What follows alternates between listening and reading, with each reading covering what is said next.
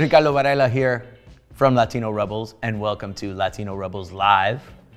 We're in Los Angeles, the city of angels, and we're super excited to be here because we have another great show with another exciting guest.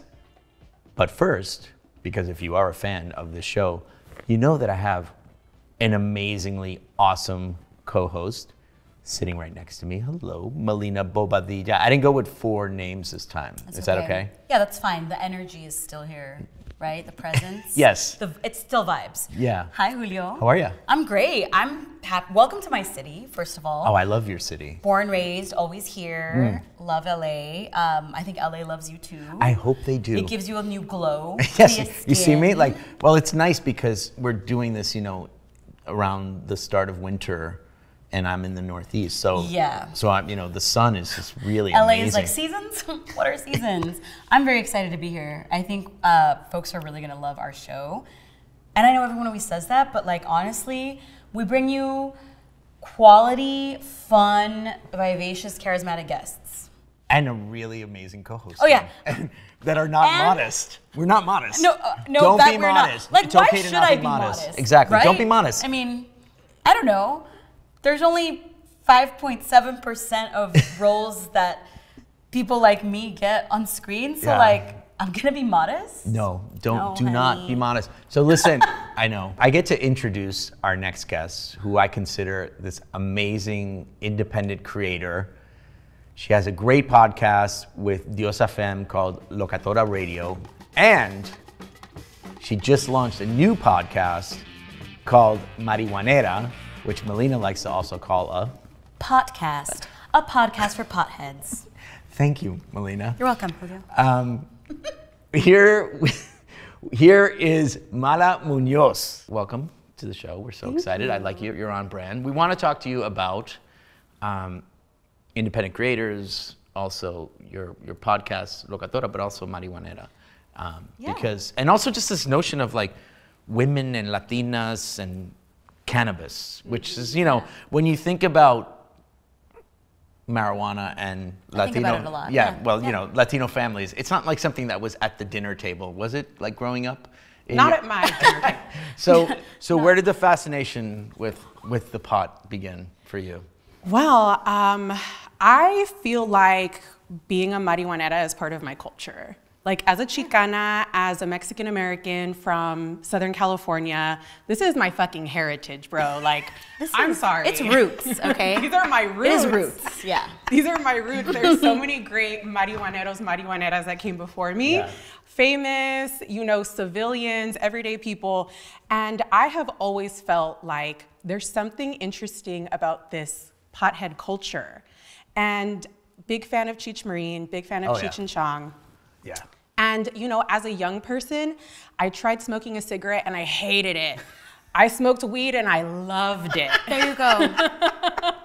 Natural choice, I think, right there. Yeah, like supernatural, you know? And so um, as I got older in college, in my 20s, working, living, dating, cannabis just became a big part of my life. First, socially, with friends, with homegirls. There was a group of girls that I lived with in college at Tufts, mm-hmm. and we lived in the Latino culture house called La Casa. Shout out La Casa. Medford, Massachusetts, in the house. Shout out you know, Medford. you know, I had to say that. Y'all Shout got out a lot Medford. of strong Yeah. pro Massachusetts The I mean, I know we're on the West Coast, but we're with repping, we're repping Northeast, we're repping Southeast Yeah. Massachusetts. Let's go. Shout out Somerville. Shout out Medford. This is truly all them. But I support like, you. I support what you. are you talking about? Continue. Yo te Yes. apoyo. Thank you.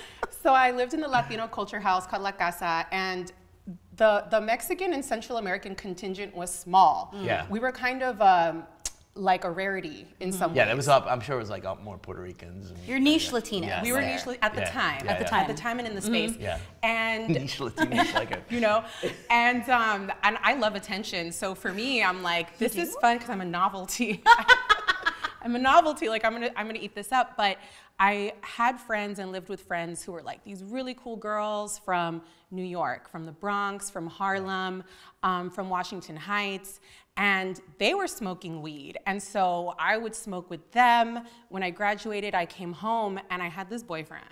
Um, we don't like to talk about him, but he comes up for like reasons like this, Yeah. right? Because he was a big part of my life, and it was with him that I really started to like smoke heavy. Mm. Okay. You know, he started introducing me to strains and to like tinctures and to edibles, and so I began to expand like my knowledge of mm. cannabis. I had to get rid of him. We had to break up. Goodbye. I had he to get rid did of was him. good for one thing. Yeah, you know, Thank you. Thank you. Next. Goodbye. sometimes people are for a time and for a season. And I learned a lot from him. And he also kind of got me way more into my social media grind. Oh. I was Oh. bullshitting a lot. Oh. Bullshitting, bullshitting on Twitter and on Instagram. Uh, so that's where the because I I think of you as a wise social media person on Twitter. At least I love reading yours. I when I, I when I oh, introduced you, Thank I forgot to tell you. I should have said like you know, wise social media practitioner. Like you you, you Oh, dropped some like. Social media maven. So so that's where you got that too. So so you kind of changed your social media game because of your ex boyfriend as well. He, he kind of was doing his own thing with social media and with his music and throwing parties and really in nightlife Yeah. and he started to like take pictures of me and I would post them and then I was like okay this is like a thing that's happening here like people are liking these photos my follower count is increasing I'm gonna stick to because I was changing my handles. I started out as Sazon Completa, and then I changed to all these different things. And then one day, my friend Lori and then my ex at the time were like, "If you stick to one thing, like call yourself one thing, Yeah. we're gonna post photos. Like think about what it is that you're posting because people seem to be responding. You know, so I was like, okay, there's something here, so let me try a little bit. Um, but then when I broke up with him, I kept going with my social media. I kept going with the podcasting. We were already podcasting by then. Yeah. But I realized I didn't know how to light a fucking lighter.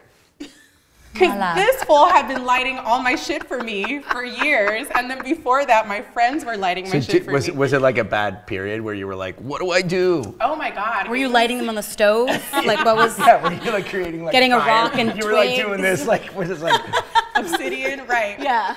I had Ancestral. ancestral knowledge. Ancestral knowledge. No, I, I realized, wow, I've never picked up weed myself. I've never prepared a pipe myself or rolled a joint or a blunt myself. Like I was casually smoking and I was baby, so everybody was taking care of me and bringing me weed and, and lighting it up for me. So it was a journey of like self-discovery, like what's my relationship to cannabis? What kind of marihuanera like do I want to be in the world? Yes. I had to build myself. And now I'm the marihuanera that you see today. Yeah, la mera marihuanera. And I want to talk like specifically about the words because words have power, as we know. Yeah, yeah. And you could have been pop princess. You Yeah. could have been weed Wendy or something else. No, but like if your name was Wendy. Wendy. Anyway, Yeah, you see where I'm going here. You chose yeah, yeah. marihuanera, Yeah. and that carries a certain energy, especially in our communities. And the history I, of the I, word. Yeah, And every the- time I used to hear it, I just it would like Yeah. come with a regaño, right? Mm. But tell us about how you relate to that word and why that word is what you chose to call your podcast. Yes, yeah. I love badly behaved women. So do I. I love. That's why this works. I love las malas. my middle name is Maria, and when I wanted to choose like my stage name, I'm like, I need to be the anti-Maria. I want to espouse and embody and embrace all the opposite. If the virgin whore dichotomy exists, and we know it exists, Yeah. I'm gonna occupy the whore side of the dichotomy because they're both there. And this seems to be open right now. Let me slide in. So I call myself Mala. Um, our flagship podcast is Locatora Radio. Right.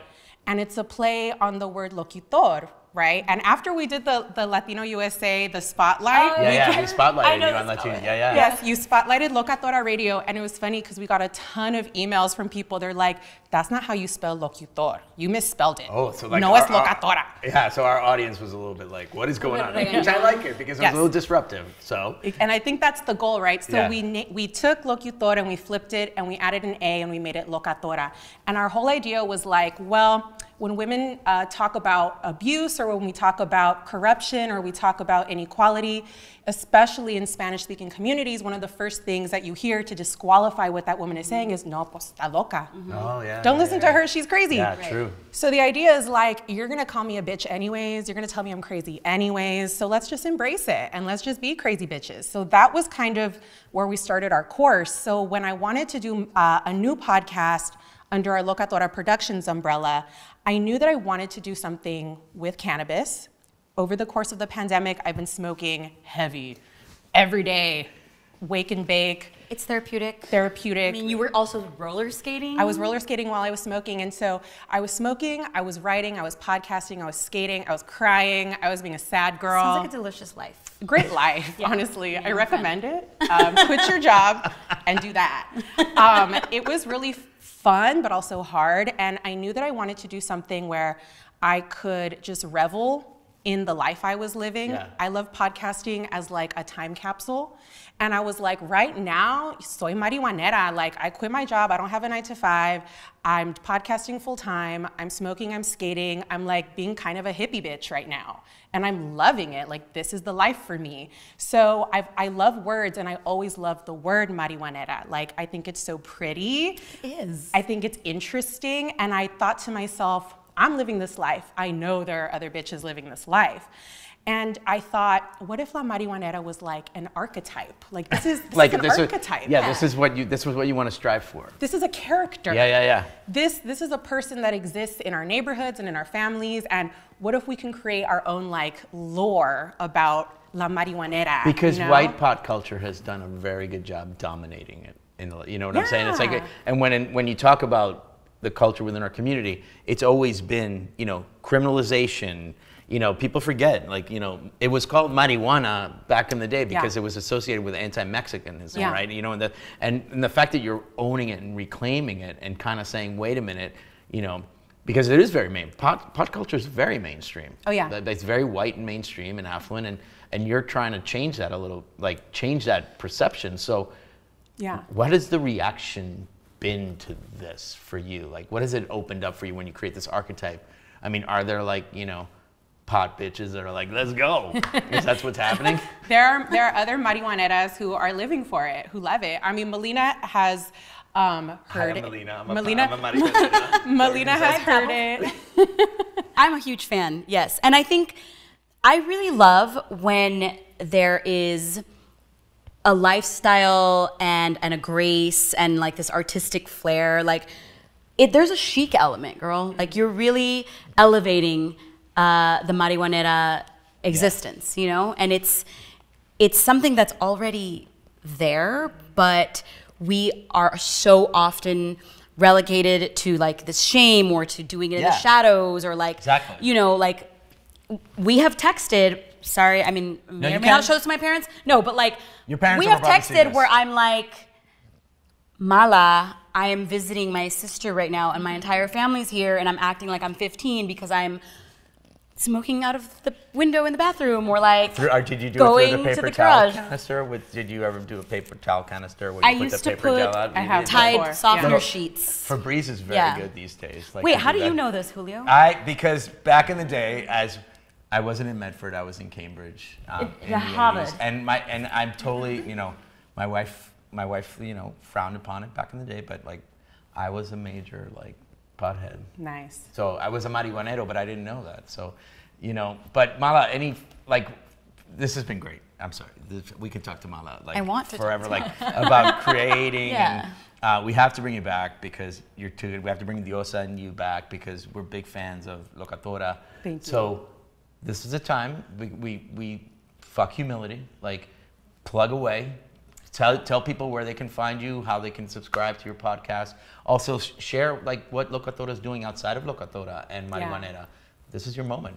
Tell us where we can find you. Thank you. Uh, so, Locatora Productions is our indie podcast production house that Diosa and I founded this summer. We're an LLC.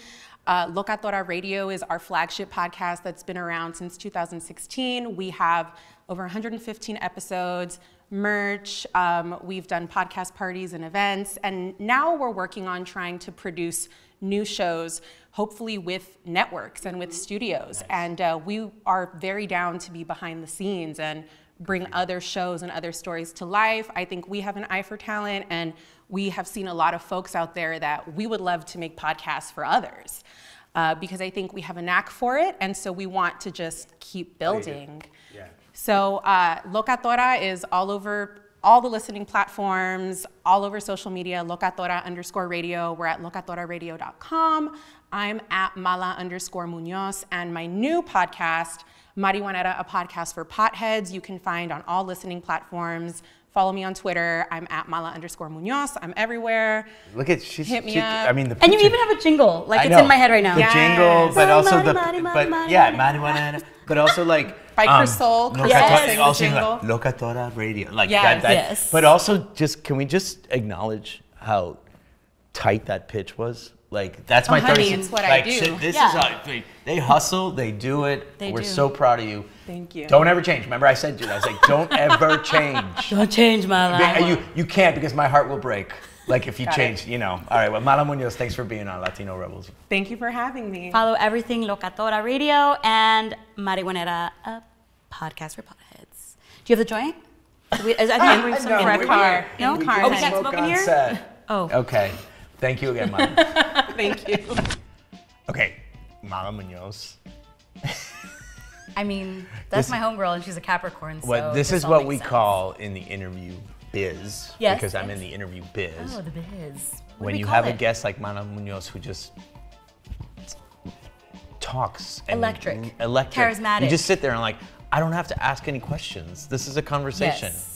The charisma is undeniable. Right. The banter. I mean, The weed. Let's talk, talk. That was a big. Can I just say one thing? That was a big ass weed talk. I haven't talked about Yeah. weed in a very long time. I feel like I'm 23. but again. like, why can't we and shouldn't we? Um, That's good point. I think this is also a social justice issue. It's absolutely connected to any conversations around race Yeah. or uh, equity in, in terms of uh, the legal system, uh, the carceral system, because as we know, and you can Google this, uh, there are brown and black people that have been incarcerated For years. disproportionately For years. when now we have white tech bros running around making like I don't know 90% CBD and 10% THC Not- because, like, Kool-Aids or whatever and it's like living Like their best life We're like Cannabis no steaks. oh Like it's like whatever. I don't even know if they're making but cannabis steaks. yeah They probably are. all of it to say I don't think there should be any shame around it Yeah. you know a lot of like